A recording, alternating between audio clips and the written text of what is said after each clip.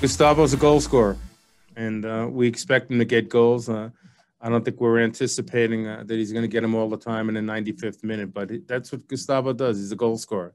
Uh, he's a good player, uh, but his his DNA is scoring goals, and uh, it's great to see that he got one tonight. I, I think that's going to help his confidence because it's it's probably been a while since he's scored a goal. So you know, I think that was a a great goal for him, and, and, and certainly a great win for our team you've won a lot of playoff games uh, yourself, but this team hasn't won one, hadn't won one in for six years. How important was this uh, to the players? Uh, well, I'm sure it's important. I don't know if, if, how many of our players have been around for the six years. I guess we have about three or four of them. But uh, you know, we're you know we're building a team, and uh, I think this is a, a another step in that prog- progression.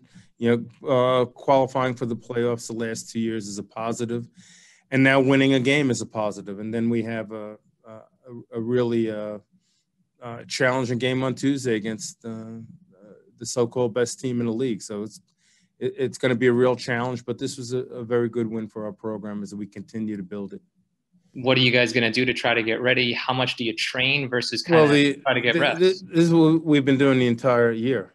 This is a, a, a rhythm that everyone's used to. Uh, and I mean, literally, we have done this, if I'm not mistaken, uh, ba- basically every week uh, uh, since the start of July. We've had maybe one week or two weeks at the most where we've actually had a, a, week between games. So we're used to this. We know uh, uh, we know the rhythm, the recovery, all of that, and, and how you prepare for the next game. So that's not going to be uh, anything. It'll be real difficult for us to deal with. PNC Bank helping to make banking easier.